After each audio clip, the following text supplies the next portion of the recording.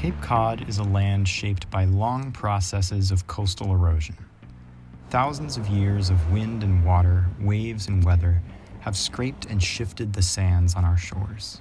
Climate change has increased the speed at which the sea level around the Cape has risen. The most recent downscaled sea level rise projections are indicating that we might see that level of sea level rise in only 20 or 30 years. So we may be seeing what feels like a 100 year storm a lot more frequently in the very near future. As reported by Woods Hole Oceanographic Institute, the sea level around Cape Cod is 6.5 feet higher than it was roughly 2,000 years ago, and one foot higher than it was just 100 years ago. Well over half of the Massachusetts shoreline is eroding, and around 11% can be labeled as critically eroding. Erosion is one part of a multi step natural process which involves weathering, erosion, and deposition. Weathering happens when rock breaks down into smaller and smaller pieces through physical, chemical, and even biological processes.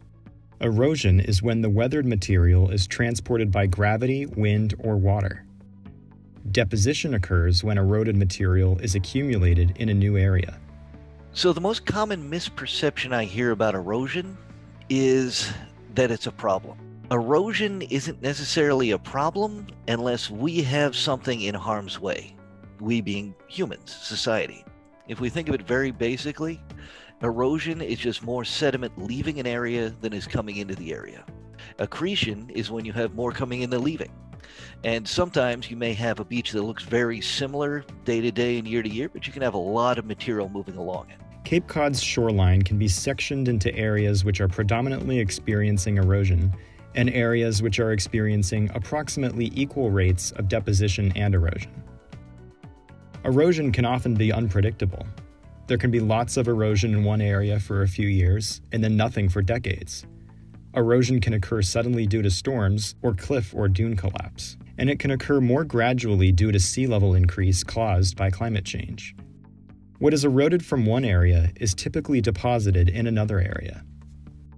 So you can have flow along the beach, parallel to shore, and that can get interrupted or slowed down by jetties and groins. You can also have flow perpendicular to shore. You need to look at a particular area to see where the sediment's coming from and where the sediment is going. Right here in Brewster, we have examples of erosion on the sides of cliffs as well as against the dunes. This can be seen at two different Brewster Conservation Trust properties. At Ellis Landing, the dunes have retreated over the years, the BCT has planted beach grass to help stabilize the dunes. At Eddy Bay, the cliff has noticeably retreated just in the last several decades. These maps help demonstrate how the cliff is falling away over time. When people walk up and down the dunes and over the sensitive vegetation, what you're doing is you're accelerating that process and you're not giving time for the plant community to adapt to that.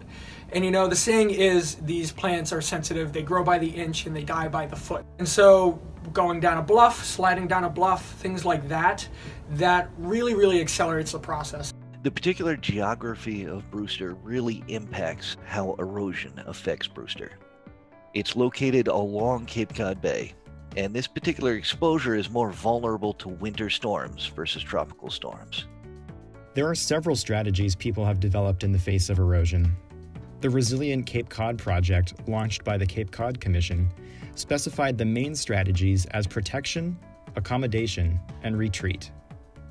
Protection comes in the form of building up resistance to erosion along cliffs and dunes.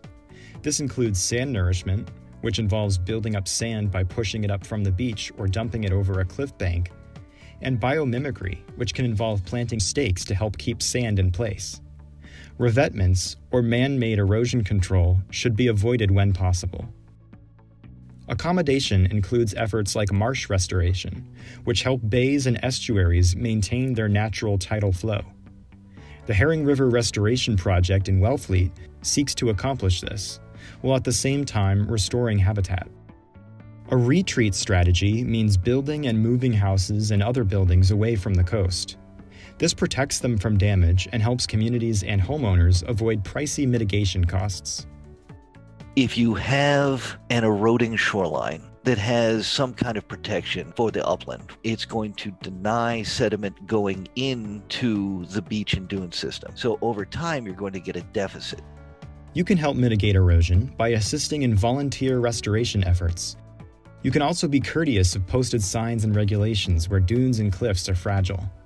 Do not walk, climb, or slide on cliffs or dunes in restricted areas.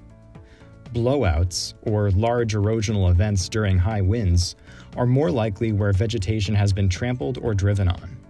So at Eddy Bay, what the Brewster Conservation Trust has done is we've put up a split rail fence there to prevent people from accessing the bluff.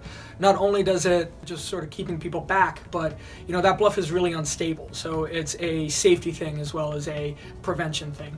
I think trying to get involved with your community and being an informed stakeholder. It's not just the people who own the shoreline. There's certainly a lot of folks who enjoy the shoreline and play a big role in what happens along it.